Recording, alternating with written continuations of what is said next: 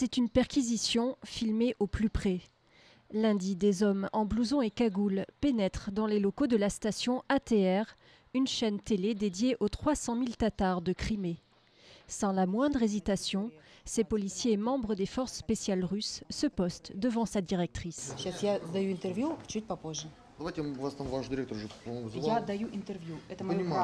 La station est accusée de ne pas collaborer avec la justice.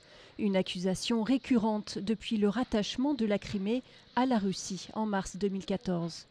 Mais pour ATR, la perquisition s'apparente davantage à une tentative d'intimidation.